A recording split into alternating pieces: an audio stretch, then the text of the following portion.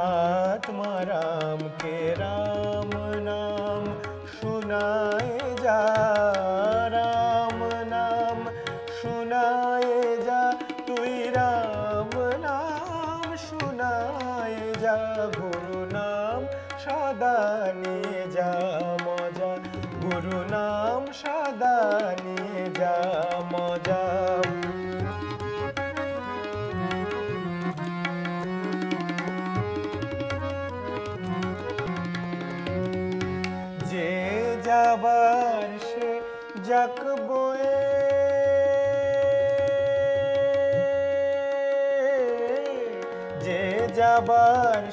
যাক বয়ে তুই আপন কর্ম করে যা।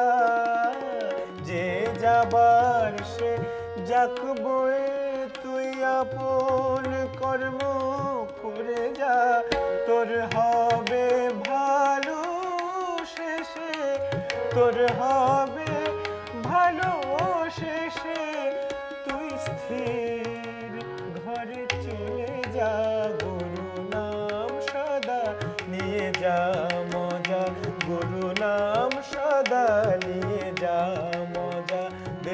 যা, সদা ধ্বনি শুনে যা, দেখে যা, সদা ধ্বনি শুনে যা। চোর কুঠুরির ভিতর মজা লুটে যা, চোর কুঠুরির ভিতর মজা লুটে যা। বুকের জোরে আত্মারাম কে বুকের জোরে আত্মারাম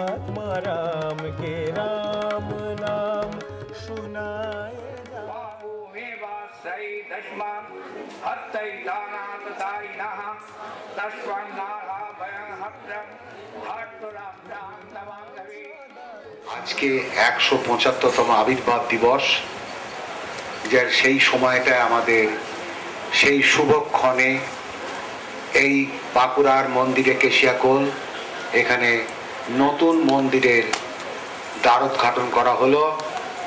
সেখানে সমস্ত জ্ঞানীগুণী মানুষ এবং অগণিত ভক্তের মাধ্যমে এই শুভ অনুষ্ঠান হয়েছে। এবং বিশ্ব ধর্ম মহাসভায় গিয়েছিলাম। সেখানে গিয়ে ভারতের যোগী হিসেবে তারা আমার কাছে বিশেষ কিছু দাবি করেছিল। ভারতীয় যোগীদের সারা পৃথিবীতে বিশাল সম্মান। তারা বলেছিল, এই যে আজকের দিনে পৃথিবীতে এত হানাহানি, এর থেকে বাঁচবার উপায়টা কি? সারা পৃথিবী যেন আগ্নেয়গিরির মুখে বসে আছে। কেউ কাউকে সহ্য করতে পারছে না। সবাই সবাইকে বলছে, শেষ করে দেবো, তোকে দেখে নেব।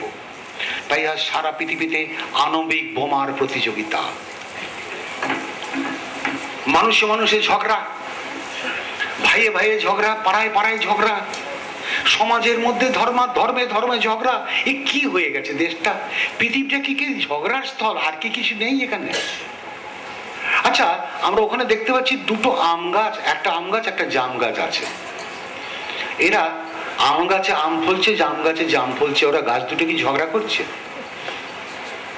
ওই যে কুকুরগুলো খেউ খেউ করে ঘুরে বেড়ায়। দুটো অন্যের জন্য আনি এর জন্য আপনারা দায়ী।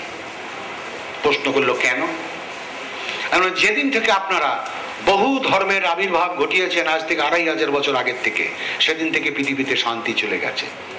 কাজেই পৃথিবীতে যেদিন এক ধর্ম, এক বিশ্ব, এক মানুষ এবং এক ভগবান।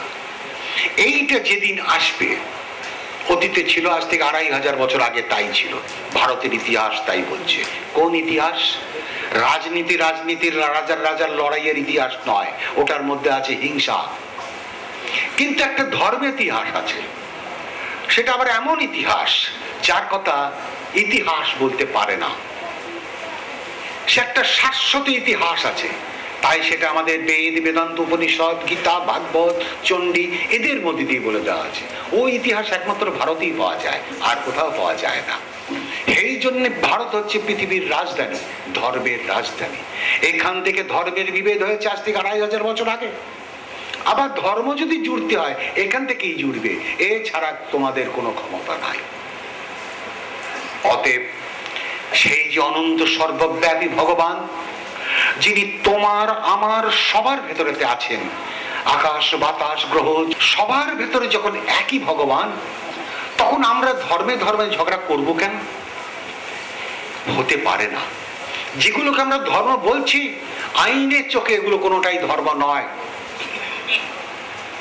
আমার চেয়েও অনেক বড় বড় আইনের মহাপণ্ডিতরা আমার কাছে সামনে বসে আছেন, আমার পাশে। তারা বলতে পারেন।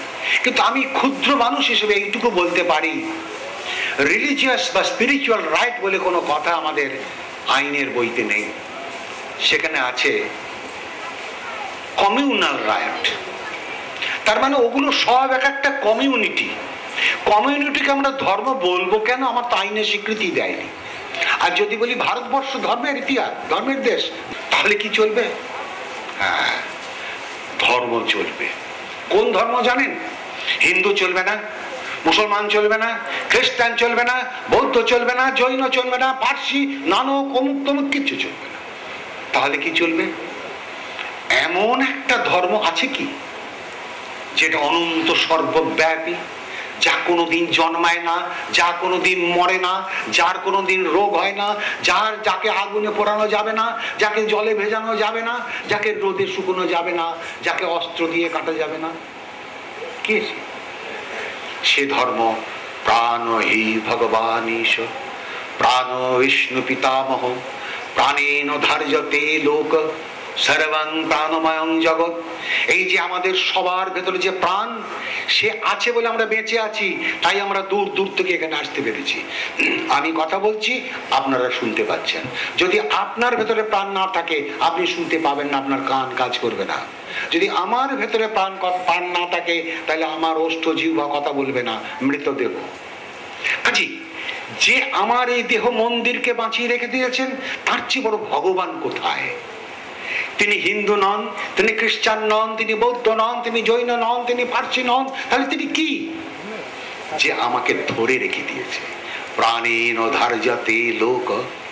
লোক মানে জগৎ ব্রহ্মাণ্ড। এই জগৎ ব্রহ্মাণ্ডকে আমাকে আমাদের সবাইকে।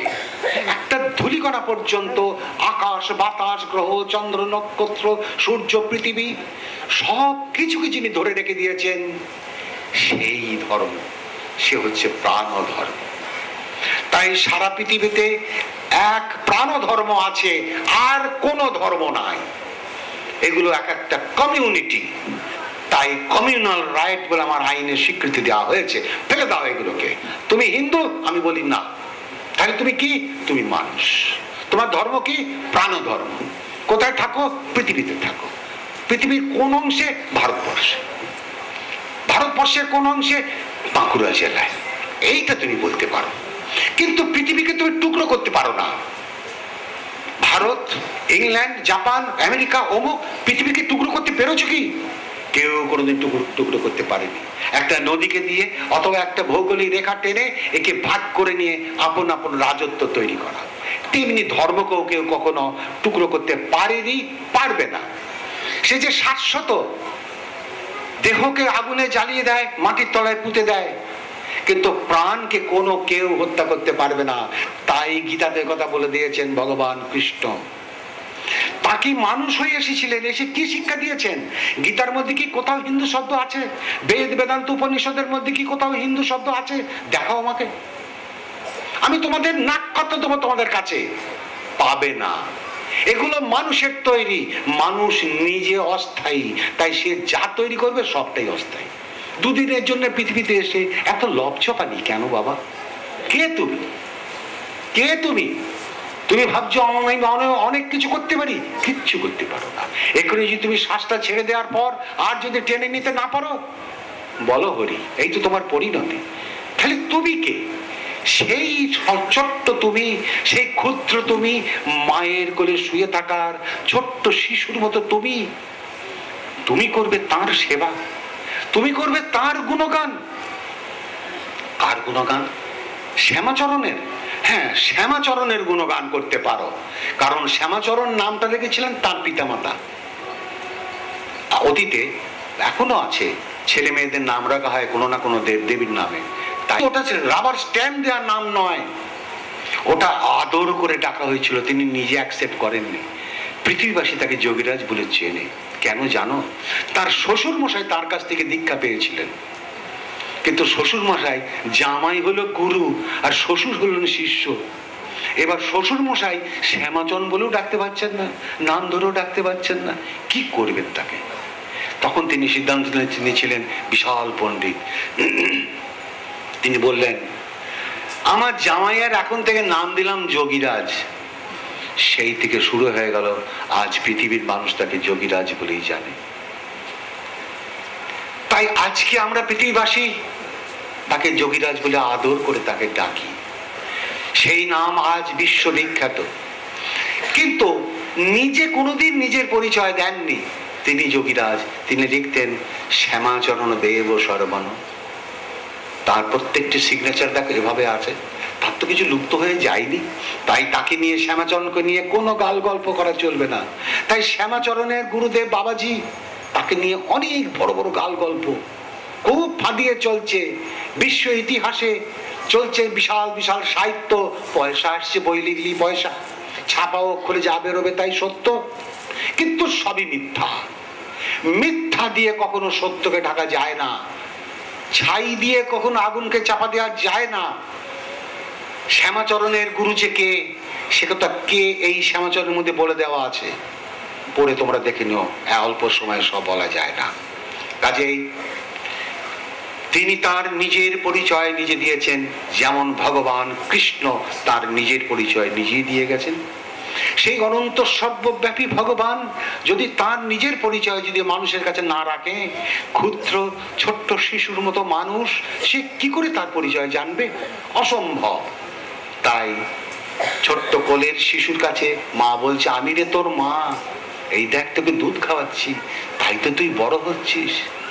তাই সেই ছোট্ট শিশু মায়ের গড়া জড়িয়ে ধরে মাকে কত আদর করে। আবার ছোট মা তাকে শিশুকে কোলে করে নিয়ে কি আদর করে ভাবতে পারো?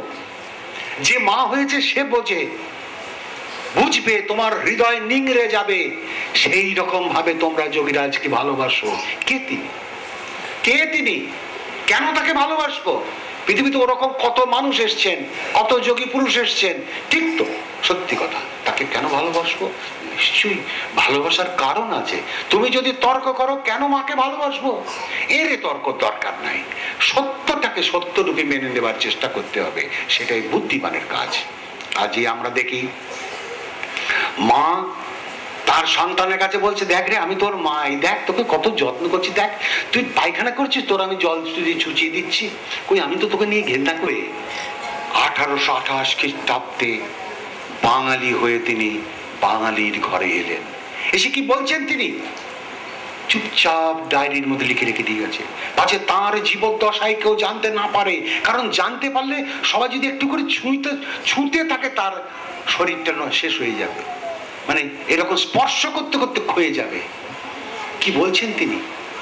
আমি কৃষ্ণ, আমি মহাদেব, আমি চতুর্ভুজ নারায়ণ, আমি আদি পুরুষ ভগবান আমি স্বয়ং ভগবান আমি নিরাকার ব্রহ্ম আমার রূপ থেকে জগতের প্রকাশ সর্বব্যাপী আমি আছি হম ছোড়ায় কই নেই हम ही एक पुरुष है और कोई नहीं हमारे रूप से जगत प्रकाशित आसमान का सूर्य रूप हमारा है কি বলবো তাকে সবার ভেতরে কুটস্থ রূপে আমি আছি। ওই দেখো গীতার মধ্যে ভগবান বলেছেন হৃত্যেই সর্জুন তিষ্ঠতি, সবার ভেতরে হৃদয় দেশের মধ্যে আমি আছি। তাহলে মন্দির কেন? হ্যাঁ মানুষ যতক্ষণ নিজের দেহ মন্দিরের দরকার আছে। যতক্ষণ খিদে লাগবে, ততক্ষণ তাকে অন্ন দিত। দিন ন রাত বিনা খায়ে পিয়ে শোয়ে প্রেম লাগাওয়ে। দশ দিন, দশ রাত বিনা খায়ে পিয়ে শোয়ে প্রেম লাগাওয়ে। তুমি তখন বেঁচে আছো কি মরে গেছো কিছুই তুমি জানো না। তখন তুমি রামবাবু না শ্যামবাবু তোমার মনে নাই।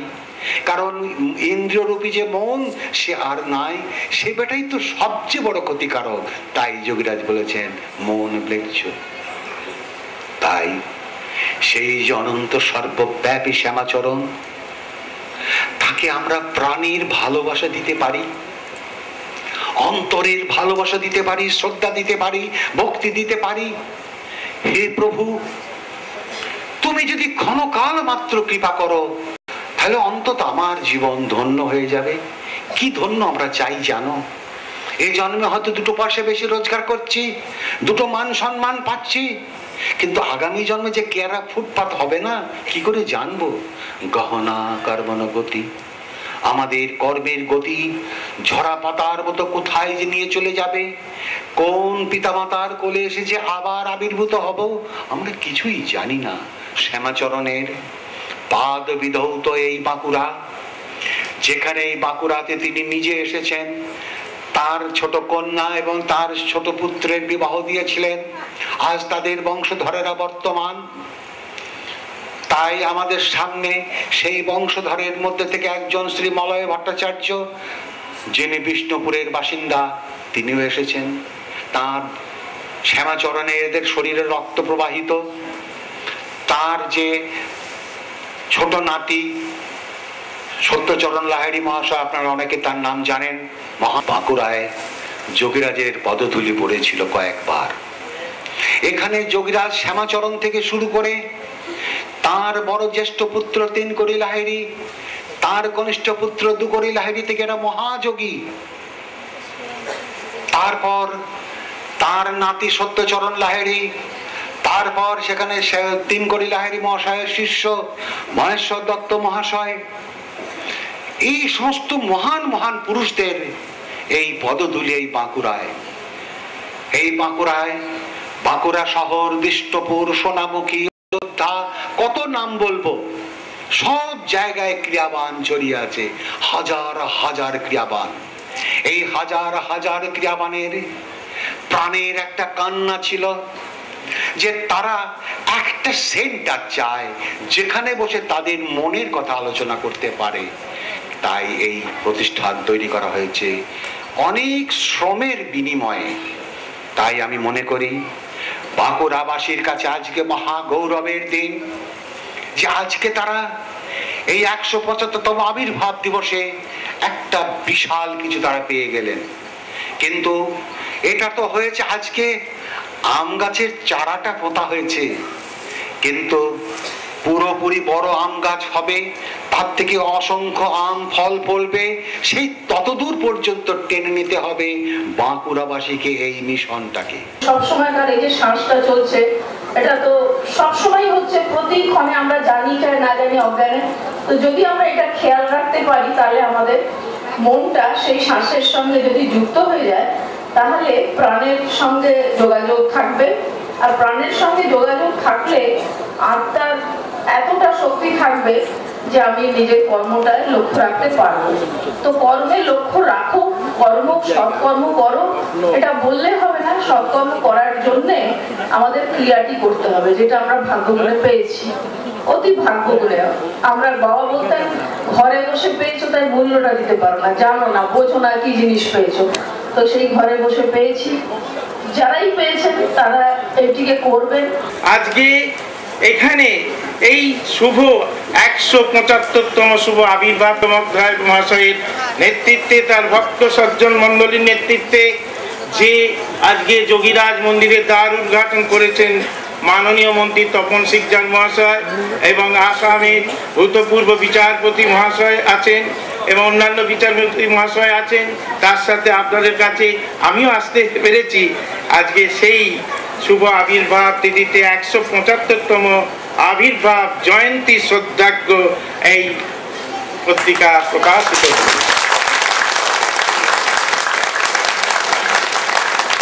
আজকের দিনটি একশো পঁচাত্তরতম আবির্ভাব দিবস Yogiraj Shyamacharan লাহিড়ির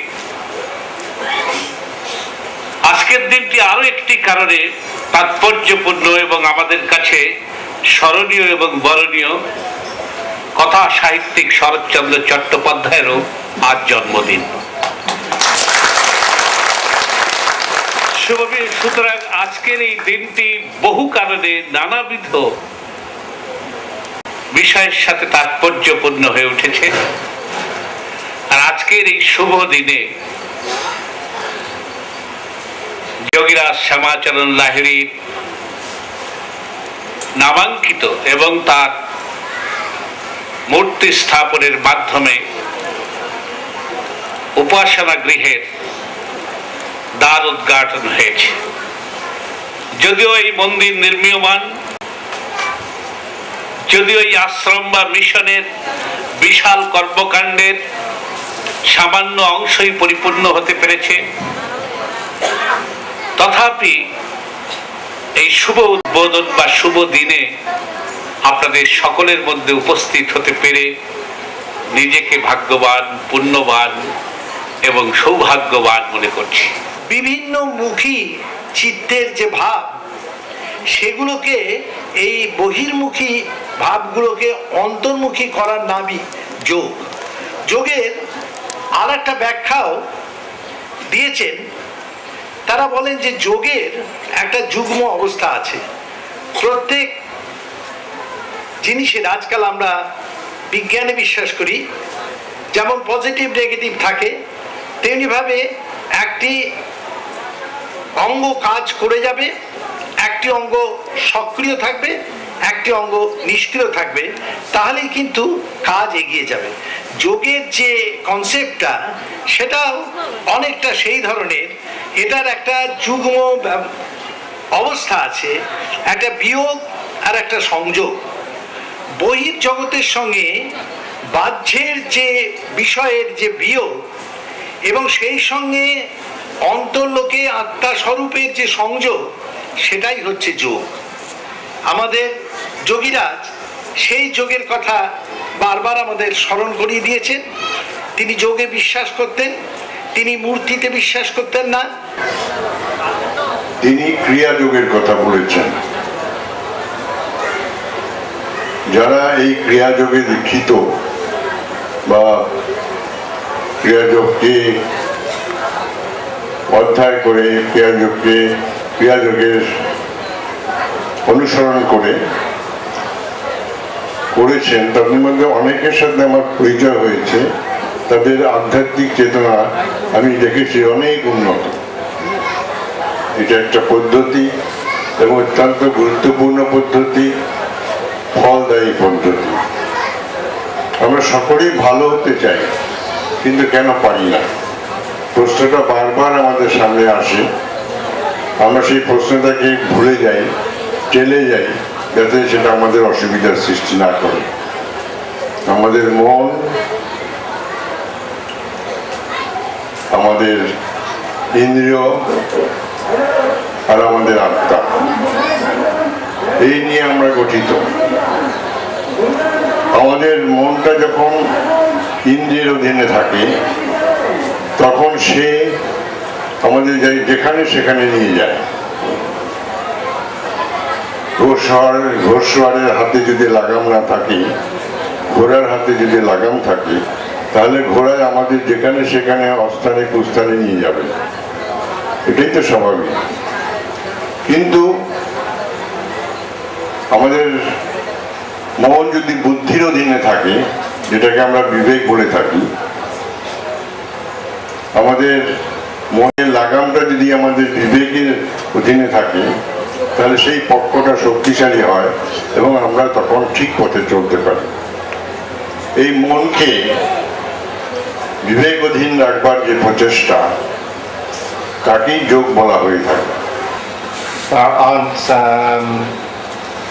Many pathways which I've found that can have a direct connection um, with a Korean master, which there isn't in the UK. Um, basically, I didn't realize there were our uh, Korean masters, so I had to do a lot of uh, inner searching and through a lot of uh,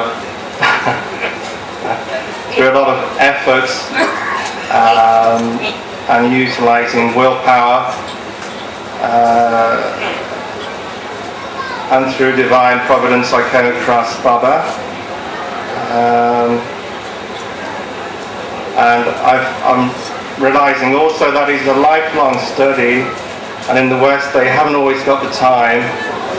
Um, but there are minds in the West that are ready for deeper understanding to experience uh, a direct perception of what truth is. And I am sure there are people within the West that are ready to accept the path of Korea. Thank you. আমি ঈশ্বরবাদী, ঈশ্বরে বিশ্বাস করি। কারণ যখন বিপদে পড়ি, তখন ঈশ্বরকে একমাত্র অবলম্বন বলে মনে হয়। যখন সমস্যায় পড়ি, তার কাছেই সমাধান খুঁজে চাই, খুঁজতে চাই। যিনি নাস্তিক, তাকে আমি শ্রদ্ধা করি। কেন শ্রদ্ধা করি? তার মনোবল, তার মানসিক শক্তি আমার থেকে অনেক বেশি। কারণ তিনি ঈশ্বরের উপর বিশ্বাস করেন না, তিনি নিজের উপর বিশ্বাস করেন। সুতরাং তাকে আমি একজন আস্তিকের থেকে বেশি শ্রদ্ধা করি। কিন্তু আমি তাকে ঘৃণা করি যিনি বাইরে নাস্তিকতার ভরণ করেন আর ভেতরে বাড়িতে বাড়িতে মন্দিরের পূজা পূজা করেন। এই দ্বিচারিতার বিরুদ্ধে আমি সর্বত্র বলে থাকি।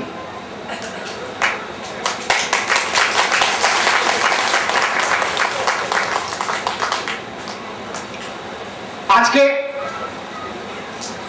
আপনাদের সামনে একটা কথা কারণ এটা বিতর্ক আসল নয়। তবু আমি দু একটি কথা না বলতে পারছি না। তার কারণ আপনারা ঠিক আমার ভাষণ তো শুনতে আসেননি। আপনারা এসেছেন যোগীরাজ ডক্টর অশোক কুমার চট্টোপাধ্যায়ের ভাষণ শুনতে। কারণ তার উপর আপনাদের অগাধ অগাধ আস্থা এবং তিনিও আপনাদের উপর আস্থা জ্ঞাপন করতে পেরেছেন না, এক বিশাল কর্মকাণ্ড হাতে নিয়ে এই মন্দির প্রতিষ্ঠার কাজে এবং মিশন কাজে মিশনের প্রতিষ্ঠা করেছেন। ক্রিয়া মানে কর্ম। কর্মের অনেক পরিধি আছে। এই যে আমরা শ্বাসটাকে নিচ্ছি টেনে আবার ফেলে দিচ্ছি, এটাও কর্ম। ওই কর্মটা যদি না থাকে, তাহলে আপনিও নাই, আমিও নাই। সেই কর্মকে বাড়াতে হবে। এ আছে বলে, দুই নাকের শ্বাস আছে বলে খিদে আছে। দুই নাকের শ্বাস আছে বলে রোগ আছে। যদি দুই নাকের শ্বাস না থাকে, তাহলে কাকে ওষুধ খাওয়াবেন? তাকেই বা ভাত বা খিচুড়ি খাওয়াবেন? অর্থাৎ এ হচ্ছে সবচেয়ে প্রধান। এ হচ্ছে প্রাণের বহিঃপ্রকাশ। তাই একে কেন্দ্র করে যে দেহটা গঠিত হয়েছে, আপনার দেহ আপনি তৈরি করেছেন। আপনার দেহ কেউ তৈরি করে দেননি। তাই যোগরাজ বলেছেন, আপনি জগন্নাথ, আপনি বিশ্বনাথ। কিন্তু নিজেকে ছোট ভাবতে ভাবতে ছোট লোক হয়ে গেছে। কারণ তুমি দেহগত কন্টেনারের মধ্যে আবদ্ধ হয়ে গেছো। সেটাকে ভুলে যাও। গিয়ে নিজেকে মহান করে ফেলো। তাহলে মহান করতে গেলে আমি ভাত খাব, আমার পাশের লোকটা ভাত খাবে না, সেটা যেমন হবে না, সেটা করতে হবে। তো এরকম বহুবিধ চিকিৎসা চিকিৎসা, বস্ত্র, অন্ন, অনেক কিছু দরকার আছে এখানে। এখানেও গরিব মানুষ আছেন, এখানেও অনাথ মানুষ আছেন, তাদের যেমন সেবা করা হবে, কিন্তু আমার সনাতন ধর্ম বলছেন যে, বাবা, এত ঝামেলা না করে সোজাসুজি মুক্তি নিয়ে চলে যাও। তাহলে তোমার জন্ম নাই, আর জন্ম না হলে তোমার রোগ নাই, তোমার কান্নাকাটি নাই, শোক নাই, তোমার মৃত্যু নাই। সেইটা এই ক্রিয়াযোগ সেই শিক্ষা দেয়। ক্রিয়া মানে কর্ম। যে কর্ম আমাকে জীবনের অতীতে, অর্থাৎ পরমাত্মার সঙ্গে গিয়ে মিলিয়ে দিতে পারে, সেইটা হচ্ছে ক্রিয়াযোগ। জয় মানুষের ধর্ম, আত্মধর্ম।